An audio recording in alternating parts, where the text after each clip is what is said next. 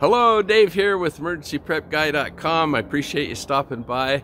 I just wanted to do a real quick video and show you how I introduce younger chickens into an established flock with the older hens.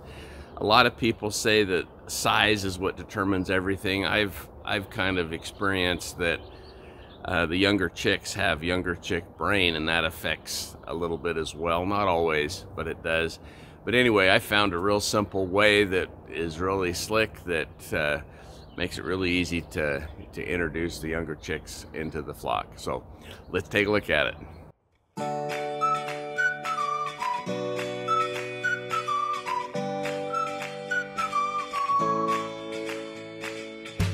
Hi ladies, how you doing?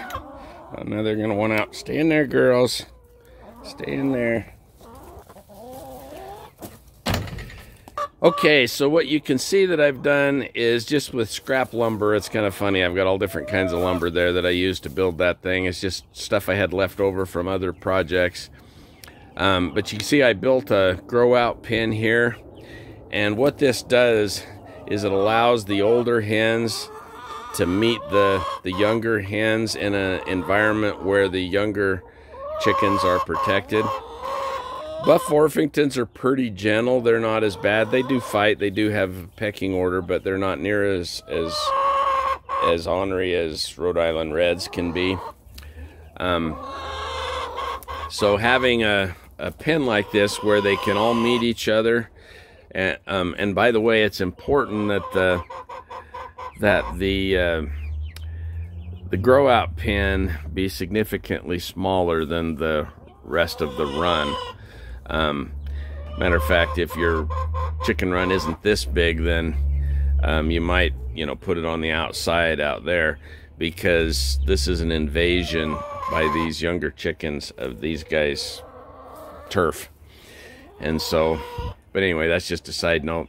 But uh, they've got plenty of room, so it's not too big of an invasion. So, but basically, what you want to do is you want to put them in a place like this where they're protected. They've got food and they've got water and they've got each other.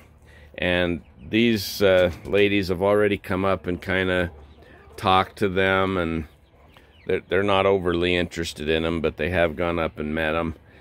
And I'm going to leave them. Um, I'm not going to let them free range today just to kind of force them to be around. Uh, these other girls. Now, one thing that is super important if you've if your chickens are full grown and you've gotten them from I'm talking about the new ones that you're adding to your flock and you've gotten them from you know some other person like a neighbor or something somebody in your town um, you want to quarantine them first you want to put them in a pen like this or another coop somewhere far away from your flock and not let like I wouldn't let these guys uh, uh, free range, you just want to keep uh, the, the birds quarantined for a week or so and just verify that they don't have mites or lice or any type of respiratory issues or anything like that that could be contagious to the rest of your flock. Sometimes chickens will carry things um, that, uh, and they don't have any symptoms. But basically, what I do is I quarantine them um, for at least a week and just make watch them real close, make sure they don't have anything that they're going to spread to the other flock. And then you bring them in here once you're sure they're fine. You bring them in here and uh, in a setup like this. Now these chicks I raised, I, I got them just as they were a day or two old. They were just hatched, and uh, I've I had them in the uh, the the quail hutch is a grow out pen, and I'm I've been watching them. I'm sure they don't have anything, so I'm sure they're fine.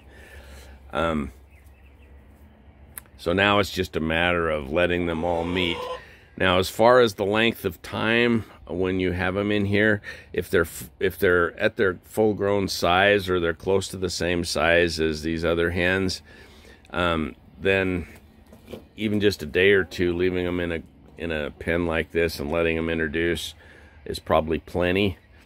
Um, with these guys, they're still pretty small, but they're big enough that probably four or five days is all I'll need to leave them in this pen and then I can let them out with the rest of them. You can see there, those two there, they're kind of meeting and talking to each other, uh, establishing, hey, see, they're kind of pecking at each other through the pen, but they can't hurt the younger ones. And that's what makes this so nice. Now, I've seen people introduce chickens that are quite a bit younger or smaller in size um, than these ones here. They're like seven, eight weeks old even. Um, as soon as they were fully feathered out enough um, and adapted to the temperature and being outside, they were introduced to the flock. But if they're the smaller they are, the longer you want to leave them in a pen like this before you let them out. Um, just so that they get really well familiar with all of the flock uh, before you release them. So I would say these ones are probably, I'll probably leave them in here for four or five days. If they were smaller, I'd probably leave them in a week and a half, maybe even two weeks. Uh, and then they should be fine. Okay, it's a beautiful day in the chicken neighborhood. Um, it's been almost five days, four and three quarters or so, since I put this grow out pen with the younger chickens in the chicken run. And uh, I apologize for my voice being a little bit rough. A couple days ago, I contracted a really sore throat and it's affecting my voice a little bit. Um, but anyway, sounds like we got a chicken up in there laying an egg. Um, but anyway, um, when I first put the younger chickens in that grow out pen in there, um, they were scared they would run away from the side when I would get there or when any of the uh, bigger chickens would come by. Um, but they soon realized nobody could get them in there and they got pretty comfortable and without having a wire bottom on that they've been able to dig in the wood chips and dust bath themselves and they got plenty of food and water. I think they've really enjoyed uh, being out here as opposed to being in one of the quail hutches. I did have a, one Rhode Island Red that was really trying to, uh, they're all sitting over there in the shade. I did have one Rhode Island Red that was trying to dig under to get under to the little chickens. And so I just, easy solution, just dug it out a little bit, slid this strip of scrap plywood just under the edge there, and then buried it with the wood chips. And then in after that, whenever she, uh, whenever she tried to dig, she just hit plywood. Hadn't really seen them trying to dig on either side. I've been watching it real close. Um, but that's all you need to do, all I would have needed to do if they started digging on the sides is, is similar to that. Just put a strip of plywood. Um, I didn't want to have a wire bottom because I wanted them to, the younger ones, to be able to dust bath and enjoy themselves in there. So I did let the older chickens free range a couple of few hours, a couple of the days, but most of the time they've been in here with them. Uh, so I feel like they're, you know, really well acquainted. Now, there will be some violence. They will have to get established their pecking order, but probably a lot of that's already been done. Um, and so what I'm going to do really quick is I'm going to put the camera down, remove this uh, grow out pen, and then I will uh, film a little bit and let you kind of see the reaction. Okay, I've got the water out. I took the top off. I got the water out. I got the feeder out. It's detached from the, I, I had put a screw in to hold it next to the, the run. That's, that's uh, screwed out. So now I, am just going to tip open this, uh, this chicken run and just let them all out. And let's just kind of see how they go. See, they all know each other. I'm surprised there isn't a little more interaction. I'm going to have to put a little step block there to make sure the smaller couple of those chickens can reach the feed okay. And if they still can't, then I'll have to uh, put another source of feed in here, but I think they'll be fine. I think they'll be able to reach it.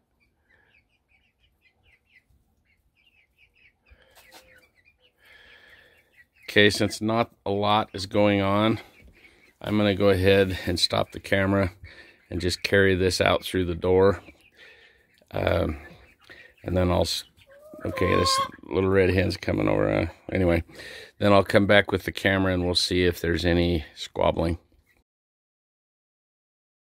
Now see how beautiful that is? All those baby chicks are snuggling or with the, I don't know if I'd call it snuggling, I guess, but they're all hanging out over there right next to the Buff Orpingtons. Uh, nobody's fighting, nobody's picking on each other. Um, I honestly expected the Rhode Island Reds to be a little meaner on them this morning. Um, but nobody seems to be bothering them at all.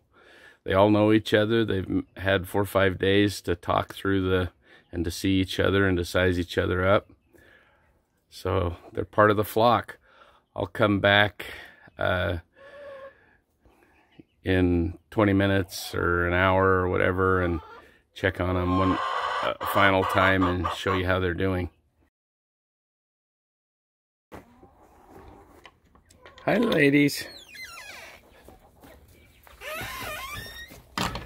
Yeah, they've been out here together. they don't appear to be fighting at all other than when those guys want food or water and these guys do too at the same time. They'll just kind of peck them and say, hey, me first.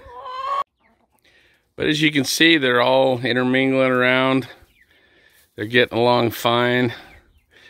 Uh, every once in a while, you, that Rhode Island Red right there, one of the Rhode Island Reds will peck at them like that. But they're not really being mean to them. I think they're part of the flock. They're just saying, hey, I get water first. Back off. My turn.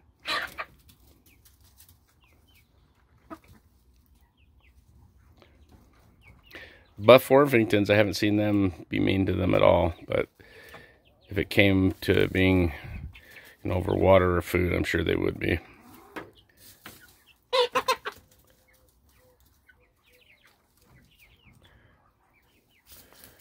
So I think we have them successfully mixed into the flock.